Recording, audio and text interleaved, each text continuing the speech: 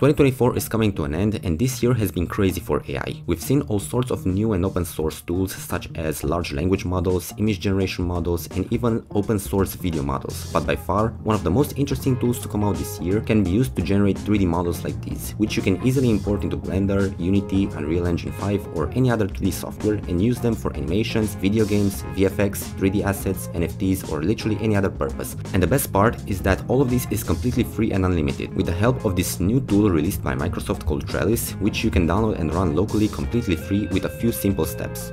And this is their GitHub page. As you can see over here, this model can generate all sorts of different 3D assets, everything from uh, airplane models to bots or guns and stuff like that. And if we scroll down a little bit, you can see that it can generate uh, models based on prompts. So as you can see over here, vintage copper rotary telephone with intricate detailing and if we take a look at the final result you can see that it's really detailed like this stuff is really good especially if you think about the very early 3d model generation ais and if we take a look at another model over here you can see a model of a blocky orange and teal robot with articulated limbs. This looks really good. And if we scroll a little bit we can also see that it generates models based on images. So you have an input image like this which you can also generate using AI and it will spit out a very detailed and high quality model. As you can see this looks actually really really good especially for such an early project. And the most interesting part in my opinion is the fact that you can also edit certain aspects of the 3D model simply based on prompts so as you can see over here we have a battle mech with a humanoid shape and in this second section it asks it to remove the arms, so battle mech with a humanoid shape but no arms. Over here it asks it to add weapons and you can see it adds very detailed and intricate weapons. And over here in the last section you can see that it asks the model to replace the legs and it looks really good. And over here we can see some other examples of how the prompt editing works. As you can see, it replaces the house over here, it adds a river, it also adds a bridge. And here are a couple of use cases. So in this video we can see that you can make a whole world, a whole scene by using this AI. So only using a couple of prompts you can make a scene which would take normally many many hours for a 3D artist to make which is quite awesome. Over here you can see how it works, so you can take a look at it if you're interested in finding out more details about the process behind it. So currently we can only download the image to 3D model because the other models haven't come out yet. But when they come, I will try to make an update video and show you how to use these other models as well.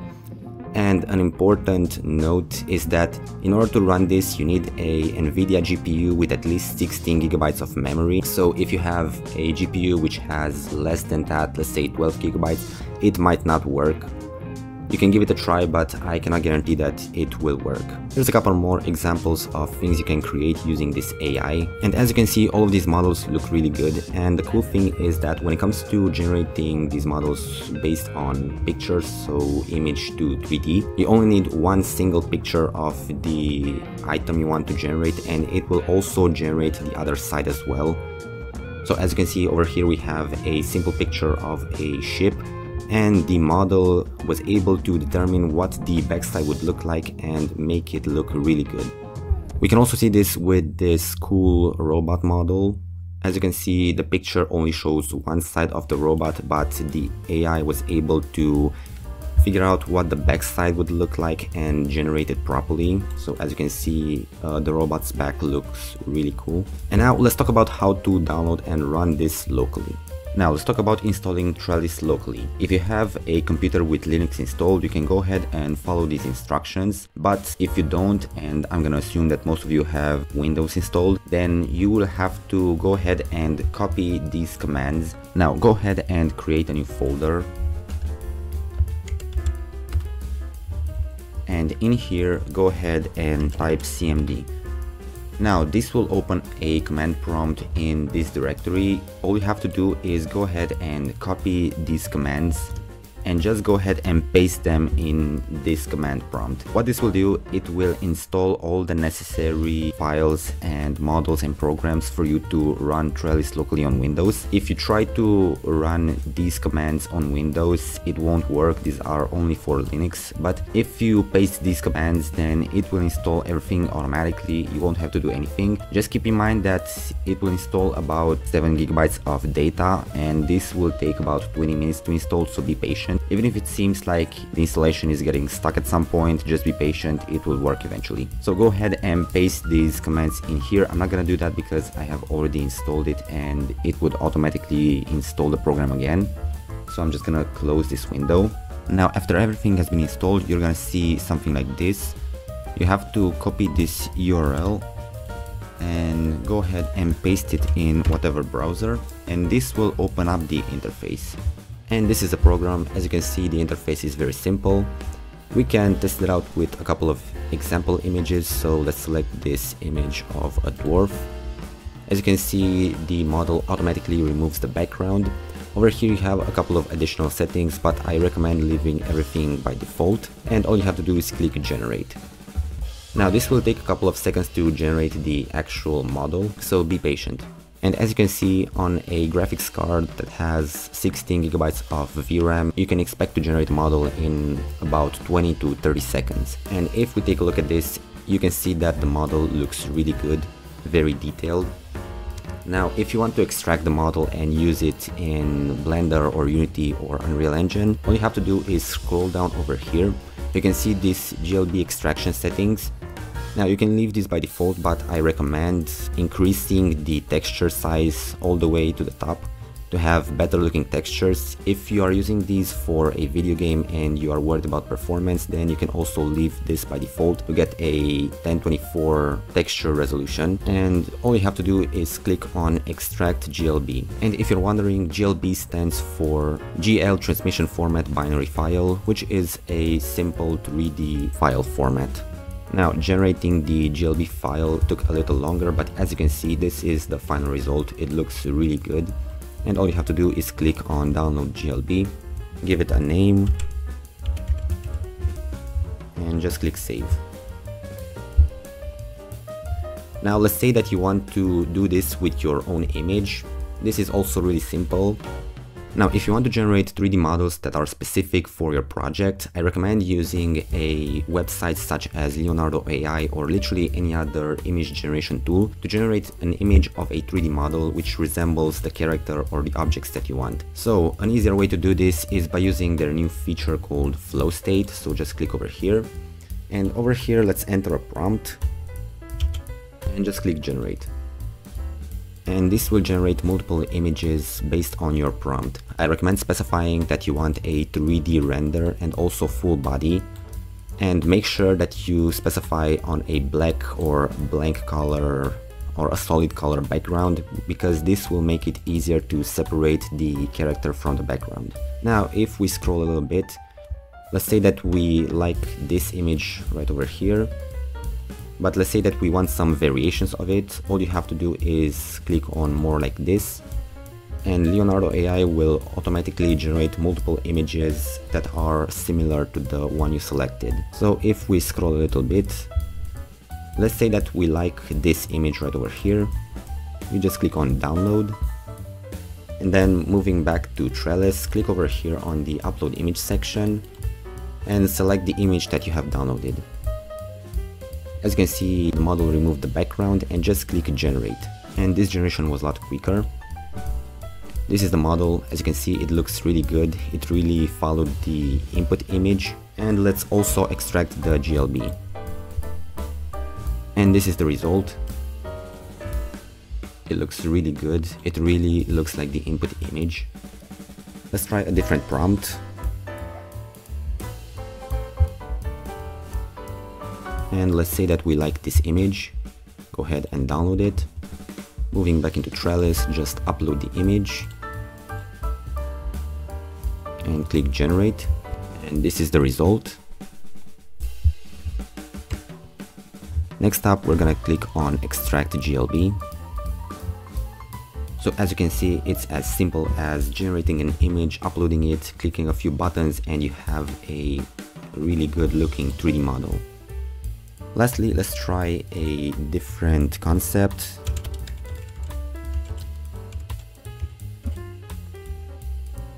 So here we have a couple of images of a Russian tank. Let's say that we really like this one over here. Let's download it. Go back to Trellis. And just upload the image. Click on generate. And in less than 15 seconds we have generated the model.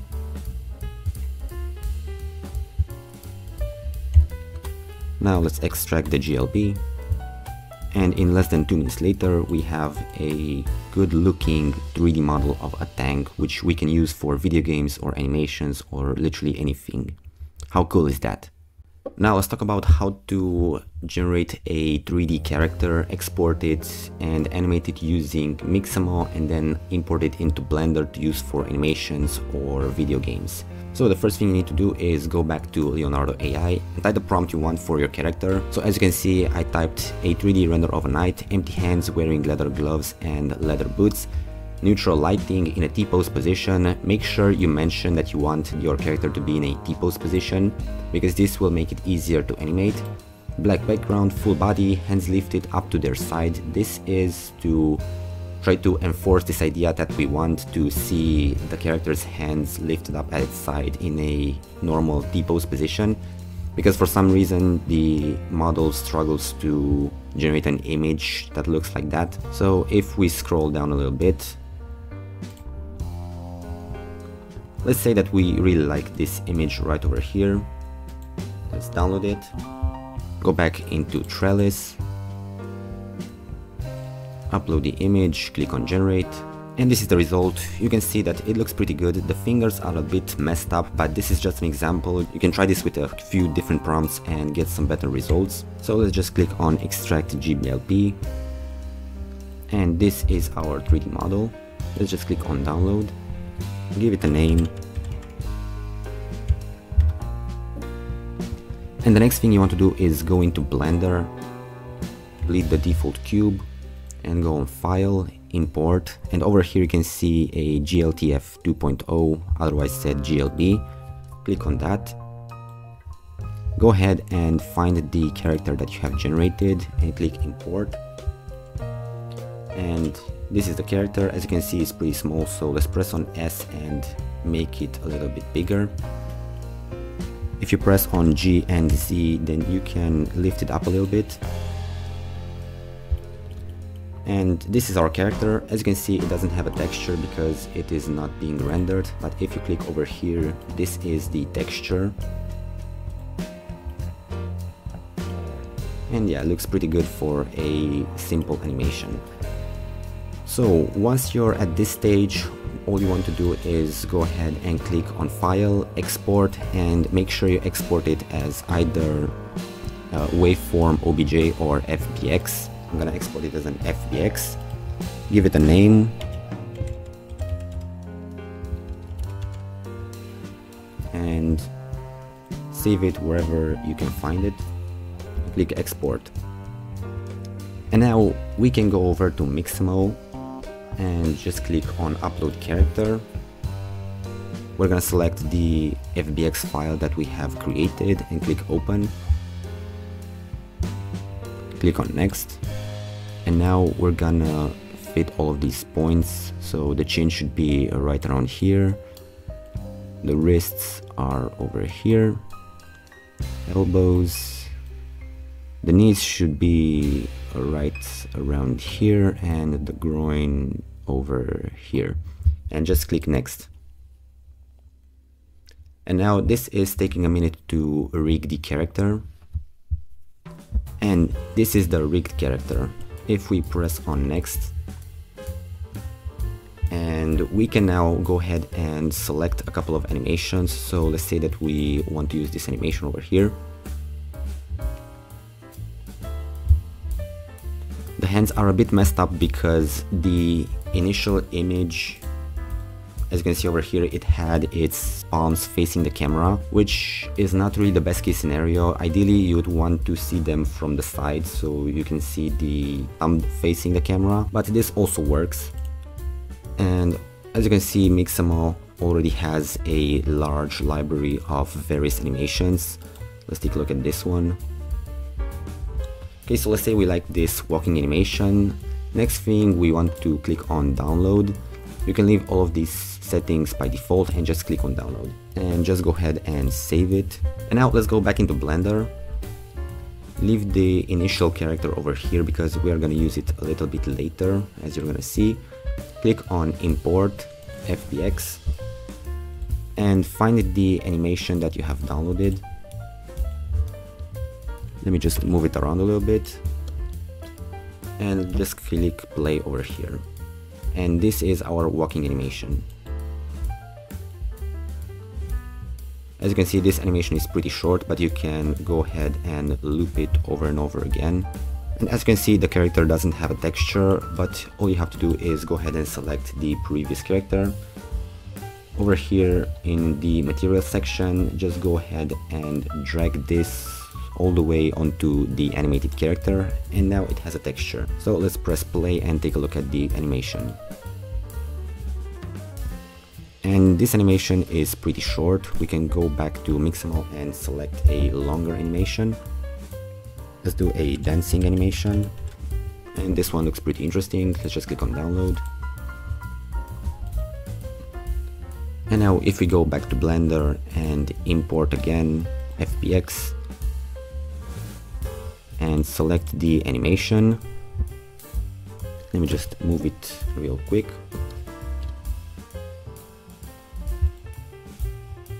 As you can see this animation looks a little bit better, it's a bit longer. And let's just go ahead and copy the material again. And here we have a fully animated and rigged 3D model that we have generated using AI. Now obviously these over here are just a couple of examples, you can go ahead and generate way better looking 3D characters. And this is it, I hope you found this video helpful, please let me know what you think about this in the comments and if you have any suggestions for future videos I would be happy to read them.